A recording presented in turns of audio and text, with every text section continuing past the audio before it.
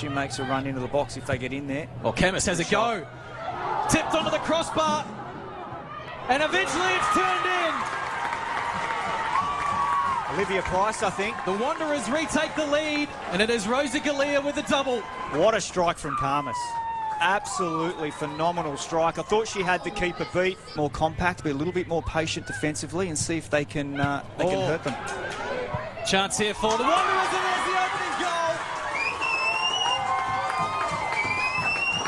Rosaria Galea gets the Wanderers on the board.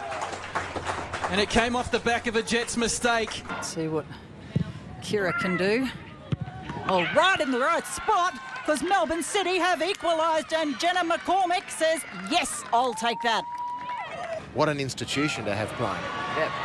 Oh, Michelle Heyman flag stays down and it's in the top corner. Michelle Heyman with her fourth goal of the season gets Canberra off the mark.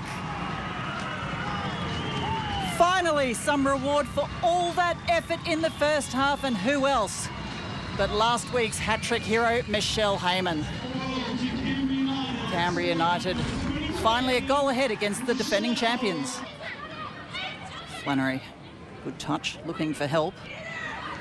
Still Flannery. Oh, and Flannery does. Nickoletta Flannery finds a winner that has to give the points to Canberra United. What a finish. Don't even think Teagan Micah saw that coming. Turned, shot Nickoletta Flannery. Well done.